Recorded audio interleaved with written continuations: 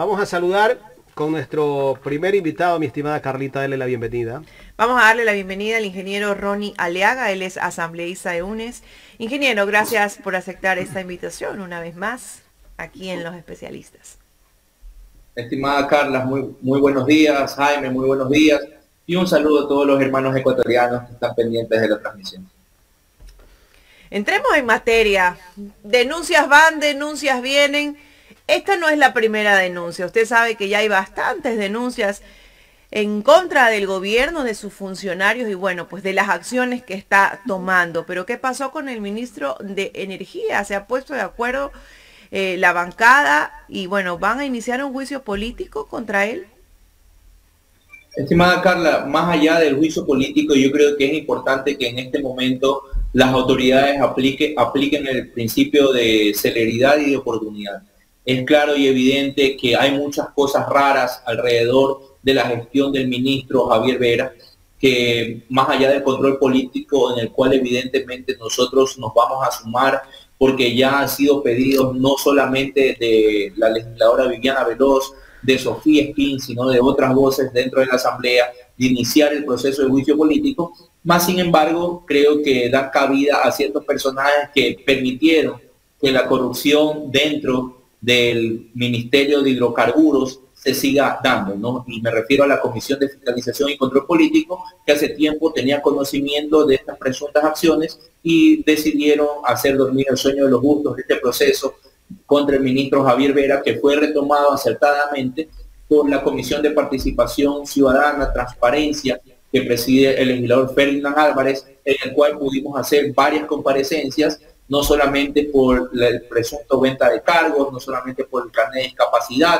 sino también por, el, por la construcción del eh, proyecto fotovoltaico en el Aromo, ¿no? que realmente es un despropósito y que no tiene sustento técnico, pero son varias de las acciones que se realizaron. Y además, desde la comparecencia de este día martes es donde desencadenan en las acciones que son de conocimiento público que se realizaron el día de ayer de allanamientos en las viviendas de Quito y Guayaquil y en el despacho del ministro Javier Vera, así como de personas cercanas a él que estarían involucrados en estos presuntos casos de corrupción.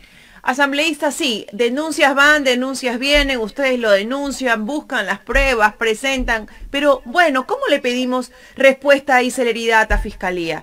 Si resulta que de repente no pasa nada, de repente se olvidaron, de repente no se encontró nada, o de repente nadie dice nada, y esto durmió en el sueño profundo, entonces, ¿cómo llegamos a esa justicia verdadera? ¿Cómo, cómo llegamos a condenar a esos corruptos si aparentemente, y lo voy a decir así, aparentemente Fiscalía no está del lado del pueblo, más allá de que tengan su procedimiento, que hay que respetar los tiempos. ¿Qué hacemos? ¿Qué hacer? Bueno, mire, eh, es de conocimiento público también que yo he tenido muchos reparos eh, sobre la gestión que ha realizado la Fiscalía General del Estado, eh, pero creo que en este caso han realizado acciones que van dentro del marco del debido proceso, que están dentro del respeto a las investigaciones, que van dentro de una línea que se ha venido advirtiendo no solamente por parte de la Asamblea Nacional, sino en medios de comunicación sobre los presuntos casos de corrupción que se han desarrollado en este ministerio.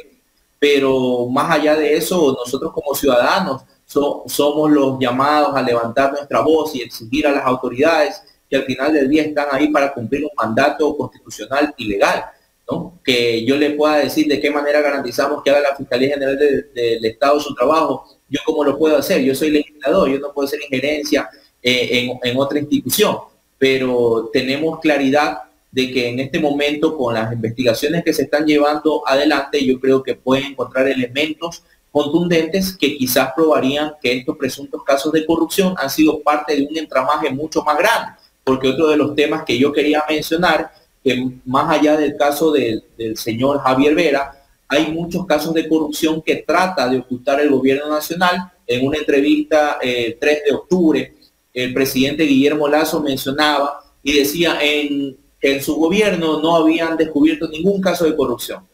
Eh, yo proyecté un video en la Comisión de Transparencia el día martes en el cual hablé de 10 casos de corrupción. Se los quiero mencionar para que el pueblo ecuatoriano lo tenga presente.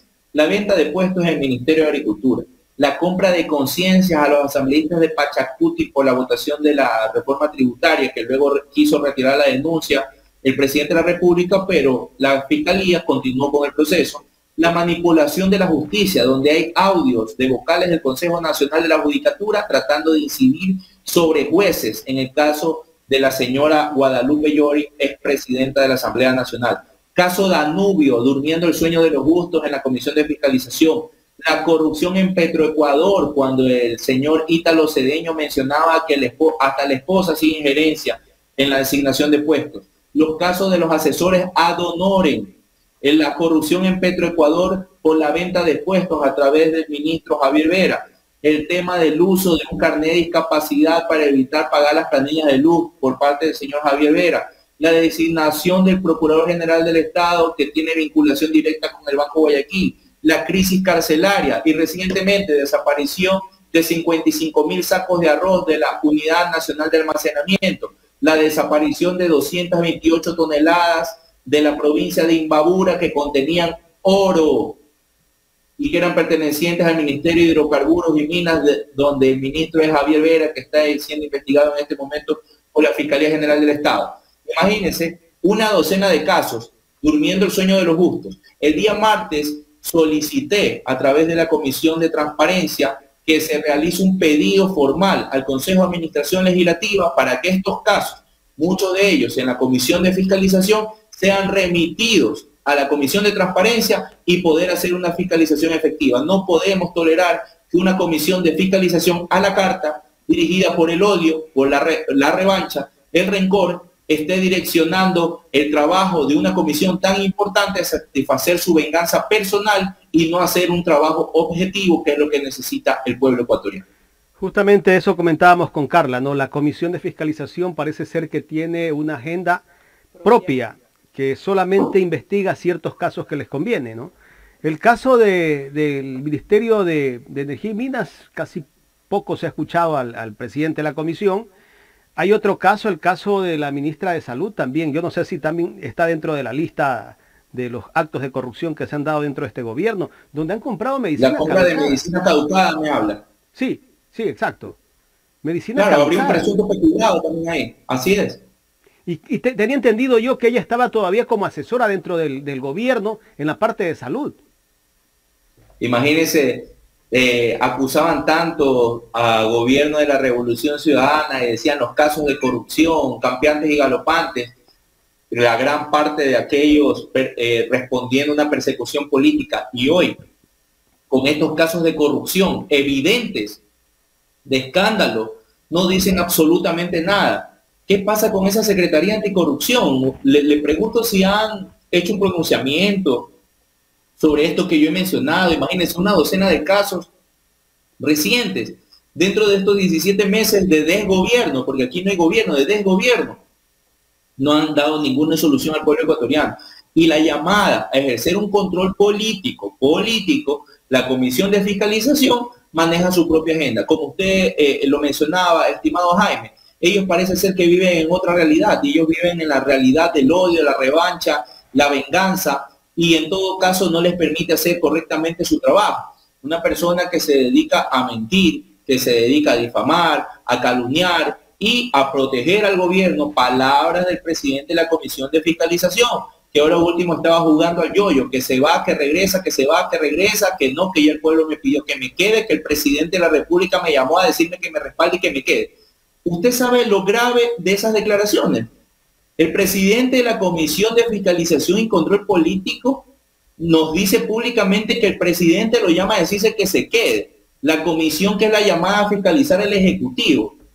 O sea, estamos, eh, eh, lamentablemente viviendo un retroceso, un retroceso en materia legislativa, en la aplicación de políticas públicas y todo esto solapado desde el Ejecutivo y lamentablemente el pueblo ecuatoriano es el que paga las consecuencias.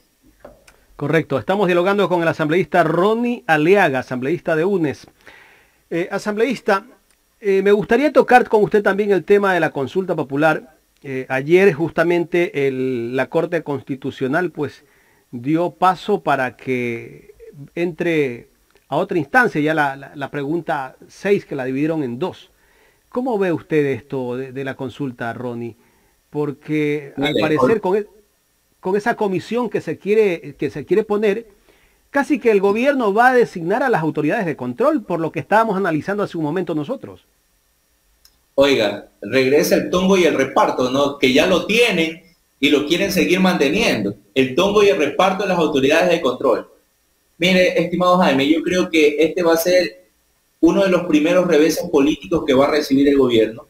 El pueblo ecuatoriano le va a rechazar, le va a decir que no a esa consulta. Evidentemente tratan de poner preguntas de relleno como hicieron en el 2018 la consulta mañosa. Nosotros lo advertimos al pueblo ecuatoriano, era darle un cheque en blanco darle todos esos poderes al Consejo de Participación Ciudadana y Control Social Transitorio, el Trujillato, y mire cómo estamos hoy, desinstitucionalizados, por descorreizar, entre comillas, al país, terminaron destruyendo la patria. Y eso no se puede permitir. El pueblo ecuatoriano es muy sabio, tiene memoria y se da cuenta. Lo mismo que hizo Moreno lo está haciendo Lazo. Consulta popular, consulta popular porque sabe que no tienen la capacidad política para generar bienestar en el pueblo ecuatoriano y quieren seguir manejando el poder a su antojo y no podemos permitirlo. El pueblo ecuatoriano lo va a rechazar contundentemente en las urnas. Tratan de meter, como dije, temas de relleno al decir eh, parte de la campaña de desprestigio de la Asamblea Nacional, es decir, no, es que tienen que haber menos asambleístas para que haya menos corrupción.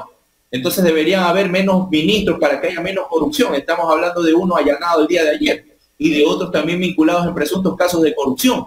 En todo caso, siempre se debe combatir la corrupción, venga de donde venga, pero aquí no es la solución restarle representación democrática al pueblo ecuatoriano. Aquí la solución es ejecutar una agenda con verdaderos objetivos nacionales que busque el desarrollo integral de la población, resolver los problemas tan graves que estamos viviendo en este momento, como temas de seguridad, trabajo, salud y educación. Eso es lo que necesita el pueblo ecuatoriano. ¿Qué resolución nos dan en este momento para que nosotros nos sintamos, sintamos que estamos protegidos, que estamos tranquilos. Le voy a comentar algo. Hace dos semanas tuvimos una reunión en la gobernación de la provincia del Guayas, convocada por el presidente de la Comisión de Transparencia, el legislador Ferdinand Álvarez.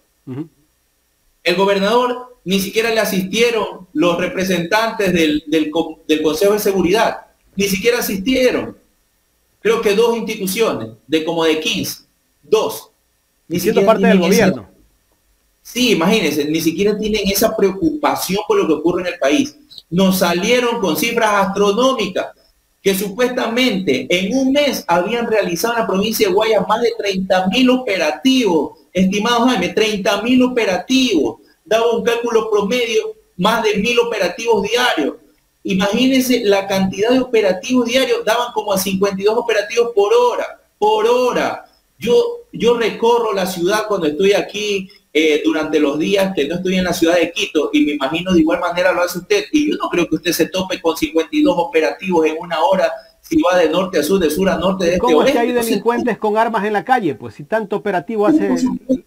Otra de las cosas que yo le decía al gobernador es de conocimiento público dónde son las zonas más críticas, dónde son las zonas más críticas. Y yo sorpresa y no hacen los operativos pero vemos que el ciudadano común, el ciudadano a pie saliendo de un concierto, de una actividad eh, lúdica, los patean, los empujan y le hacen un sinnúmero de cosas. Más allá, más allá de, que yo no tengo nada en contra de la Policía Nacional, siempre respaldado el trabajo de las fuerzas del orden. Yo creo que falta un poquito más de, de orientación en la estrategia de combate a la delincuencia. Y era algo que yo le mencionaba al gobernador. En fin, al final del día, imagínense, nosotros realizamos esa sesión en la provincia del Guayas, en la gobernación, porque el gobernador no asistió a una convocatoria de la comisión.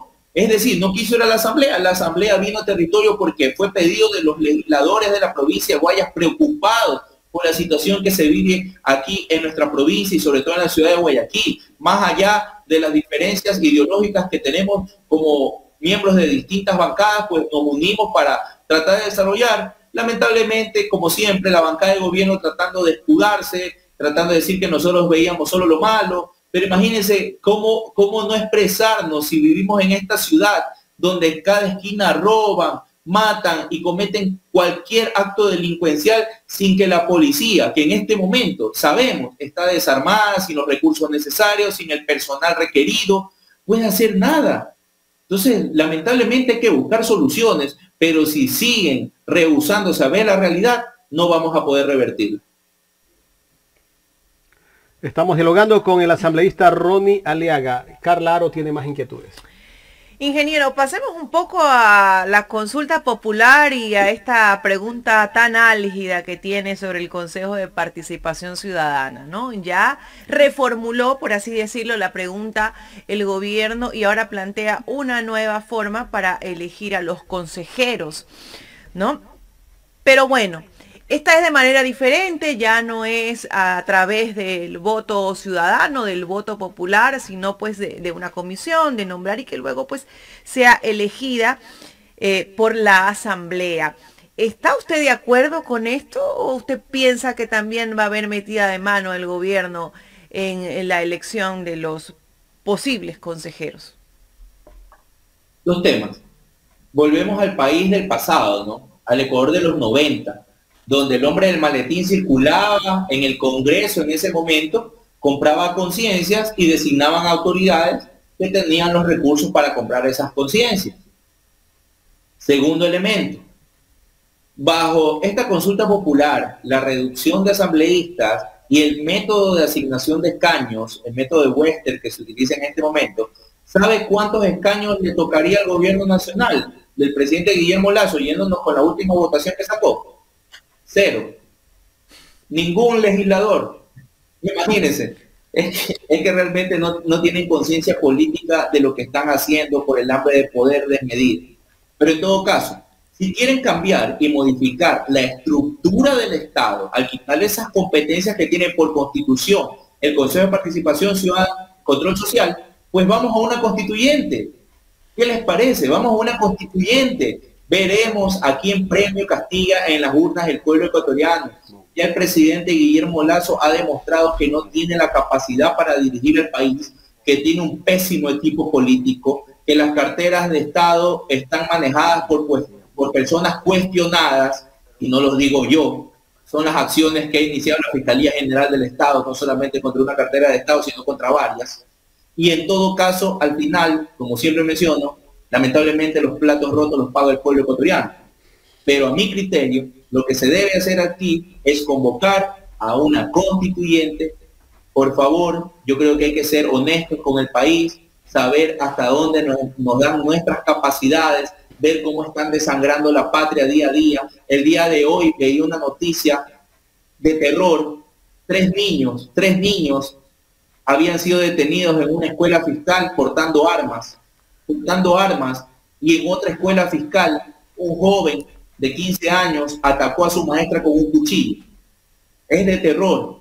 El país se le salió de las manos. La delincuencia se ha tomado y se ha apoderado de la patria. Y eso no se puede permitir, no se puede tolerar. Si no se tiene la capacidad, como se decía, tenerla, porque persiguieron la banda presidencial más de 11 años siendo candidatos el señor Guillermo Lazo y llegó al poder mintiendo, diciendo que podía en 100 minutos cambiar la historia del país. Llevamos 17 meses y estamos viviendo los peores momentos de la historia. Si el gobierno de Moreno fue pésimo, este le ganó. Ya no sé cuál es el peor gobierno de la historia, pero este aún no termina y mire cómo estamos viviendo en este momento. Ronnie, bueno, la consulta popular no beneficia a UNES y creo yo, creería yo que tampoco beneficia a, a los otros partidos políticos, ¿no? Pero bueno, al presidente no le interesa eso porque a él no le interesan las encuestas, ¿no? Parece que él lo que quiere es cumplir su objetivo, terminar sus cuatro años y probablemente se irá a su casa, ¿no? Con la satisfacción de él, no de nadie más. Disculpe, que le haga también una puntualización que es muy importante. Más allá de que ellos ni siquiera analizan las encuestas, ni siquiera saben que el pueblo ecuatoriano los rechaza mayoritariamente, ¿no? Tiene un 82% de rechazo y subiendo, ¿no? 82% de rechazo de la población Usted sabe que vamos a gastar más de 60 millones de dólares en, se va a gastar en la consulta popular. ¿No le parece que esos 60 millones de dólares son muy necesarios en este momento para el tema de seguridad, para el tema de salud, que están desabastecidos en el sistema de salud pública? por el tema de educación, no hemos visto las manifestaciones de nuestros jóvenes que por más que sacan infantil que habla el gobierno. Disculpe. Desnutrición infantil que habla el gobierno. Desnutrición infantil y tantas problemáticas más que tenemos, la falta de acceso a los créditos, la falta de acceso al empleo, 60 millones de dólares. Pero ¿sabe qué? No le interesa. Estimada Carla, estimado Jaime, ¿sabe que la ejecución presupuestaria en este momento del gobierno nacional no llega ni al 60%? y, y, sin embargo, el Fondo Monetario Internacional felicita al Ecuador por tener las más altas reservas históricas fuera del país. Yo le hago una reflexión sencilla al ecuatoriano que nos está viendo en este momento. Lo que hace el Ecuador es como que en mi casa, en mi casa, teniendo la refrigeradora vacía, mi hijo sin estudiar, mi esposa sin alimentación, sin alimentación y enferma, yo tenga la cuenta del banco llena de dinero. ¿De qué sirve? No nos sirve nada. Es lo que está haciendo el gobierno nacional. Tiene las cuentas afuera llenas de recursos, cuando los recursos se necesitan aquí en el país para resolver todo. Sin, sin priorizar la necesidad, sin priorizar la necesidad, sin duda, del ecuatoriano, este ingeniero Ronnie. Bueno, quiero entrar en materia de seguridad y qué está haciendo la Asamblea. Porque usted decía, ¿no? Estoy asombrado, estoy asustado, todos los días vemos una noticia nueva, una noticia diferente. Pero si no vemos respuesta de la asamblea, del gobierno, tampoco vemos presión de la asamblea. Bueno, el tema de la, de la seguridad. Nosotros a través de las leyes, recordemos que se hizo una presión mediática y comunicacional para la aprobación de la ley del uso legítimo de la fuerza y dijeron que con eso se iba a resolver el problema de inseguridad. ¿Lo recuerdan? Pues no ha solucionado absolutamente nada. Y nosotros apoyamos con los aportes que hizo la Asamblea Nacional de las distintas bancadas, con el apoyo en la votación, sabiendo que se cumplen objetivos nacionales a través de una propuesta de ley que le daba y empoderaba más a las fuerzas policiales, a las fuerzas del orden para la protección del ciudadano, mas sin embargo eso no ha determinado en un resultado positivo. Ahora, dentro de las mesas de seguridad, porque hay una mesa amplia de seguridad, se están tratando temas importantes también como el porte del arma. Porte de arma para los ciudadanos ecuatorianos para que también estén armados. Mire, yo soy, yo, yo soy creyente de que la violencia genera más violencia, pero yo respeto los criterios de todas y de todos. Pero al final del día, aquí es la falta de ejecución por parte del Ejecutivo. Ustedes eh, no me dejarán mentir por el que recorremos, es, solamente de recorrer nuestra ciudad. Vemos UPCs que están deteriorados, vemos patrulleros que están abandonados, vemos carros de policías en videos que tienen que ser empujados por los mismos policías porque no reciben mantenimiento, policías que no tienen indumentaria necesaria, que tienen chalecos antibalas que ya están eh, vetustos, que ya no sirven para nada, que no les dan preparación, que no les dan capacitación, entonces realmente la desinstitucionalización del sistema de seguridad es responsabilidad del gobierno por más trabajo que hagamos desde la Asamblea Nacional, si no se lo implementa, no sirve de nada. Y ahí es donde nos hemos unido. Vuelvo a insistir, más allá de las diferencias políticas que tenemos, estamos unidos por objetivos nacionales y sobre todo por el bienestar del pueblo ecuatoriano, pero tiene que venir la ejecución por parte del gobierno nacional. Asambleísta, usted fue uno de los proponentes de la ley de juventudes. Usted abanderó este proyecto que ya es ley. Me gustaría conocer en qué se basa esa, nueva ley de juventudes que fue aprobada el 25 de octubre. Estimado Jaime, una lucha de nuestros queridos jóvenes. Iniciamos en el año 2017 con los conversatorios ciudadanos eh, que recogían aportes para el plan de gobierno y una de las primeras, eh, mejor dicho, la primera iniciativa que presenté eh, asumiendo como legislador principal en el periodo pasado fue la ley de juventud. Nos hemos demorado, lamentablemente, por estas pugnas políticas, cinco años en aprobar este proyecto de ley. Quitaron muchas cosas interesantes. Sabemos que han anunciado un veto a la ley de juventudes, aunque obtuvimos 117 votos, eh, fue por unanimidad de los presentes. Sabemos que el presidente Guillermo Lazo tiene pensado vetar la ley de juventudes hay muchos temas interesantes, ¿Por como el tema de que ya exijan. Disculpe. ¿Por qué quiere vetarla? Ya vendrán los argumentos, pero según ellos esta ley no beneficia a los jóvenes, cuando lo que hemos eh, plasmado en esta ley han sido los aportes que hemos recogido desde el territorio con los jóvenes conversando. Y les cuento una anécdota dentro de esta ley de juventud. Imagínense, era tan amplio el debate y se recogían todos los aportes que en el primer debate, que fue un año atrás, se incluyeron temas muy polémicos pedidos por los grupos juveniles. Uno de aquellos era el tema de la interrupción del embarazo que en primer debate fue rechazado porque luego se trató en un tema de un proyecto de ley que era específicamente sobre ese caso, ¿no? Y que sabemos que hubo pronunciamientos de la Corte Constitucional y todo. Pero para que se vea la capacidad que se le dio a los jóvenes y el empoderamiento para que puedan plantear hasta estos temas que son muy polémicos y que fueron acogidos por la comisión eh, y que fueron planteados dentro del Pleno de la Asamblea Nacional y que se debatió. Hay temas interesantes como los, incentivos eh, laborales, ¿no? Cuando contratan a un joven ya no se le va a exigir la experiencia laboral, eh, hay incentivos para las empresas privadas eh, con, el tema del aporte patronal en el IES para contratar a los jóvenes. Se exige que dentro de la nómina al menos el 10% de estas contrataciones sean de jóvenes, ¿no? El rango etario entre 18 y 29 años, no para el tema laboral, pero el tema rango jóvenes es de los 16 hasta los 29 años y, se quedaron muchos temas muy importantes que creo que tienen que ser incluidos a futuro con el debate. Recordemos que esta ley se demoró casi cinco años en salir. Las nuevas demandas ciudadanas de nuestros jóvenes exigen más y más y más. Hubo un tema que, que, sí nos quedamos con ese sinsabor de no poder conseguir, que eran las tarifas preferenciales para los jóvenes, pero a través de la ley, no como ordenanza, como actualmente se lo hace porque los jóvenes merecen este tipo de incentivos, ¿no? También el tema de poder acceder a líneas de crédito en la banca pública y privada, directo, un crédito para jóvenes, también no fue aprobado, no fue incluido. Sabemos que estamos ante un gobierno de banqueros, no permitieron tampoco que se incluya eso, pero era muy importante. Con lo que tenemos en este momento, los siete transversales, la salud, la educación y tecnología, tenemos el deporte, el arte y la cultura, tenemos el trabajo y la empleabilidad, tenemos la participación y liderazgo y también tenemos el medio ambiente y la protección de los derechos como ejes transversales para que los jóvenes puedan desarrollarse integralmente. Eh, nos faltaría tiempo para seguir hablando del tema de los jóvenes, que como ellos mismos dijeron, son sus palabras. No son el futuro, son el presente y futuro de la patria y ellos están ansiosos de tomar esa bandera de lucha. Lo dijeron en el Pleno de la Asamblea Nacional este día martes en Comisión General.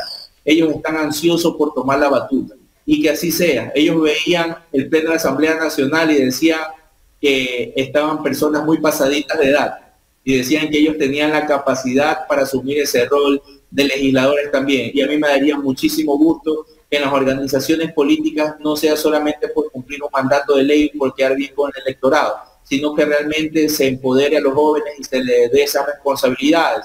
Y lo digo como un joven, ya no ahorita, ya no joven, pero como un joven agradecido con su organización política en su momento por haber dado las oportunidades de poder prepararme, de poder participar, de poder formarme como político y poder defender un sector social del cual yo provengo.